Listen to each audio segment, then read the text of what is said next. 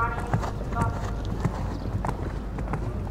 uh, the results for number 23,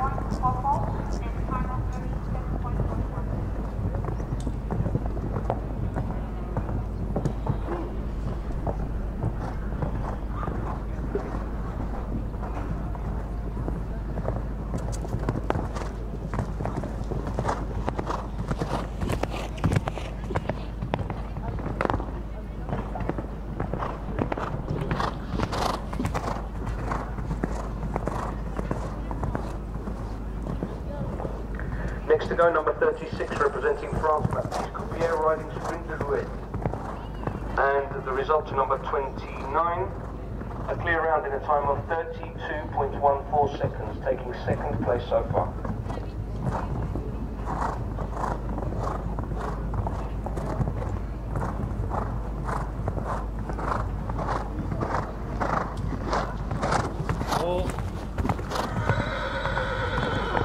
Oh.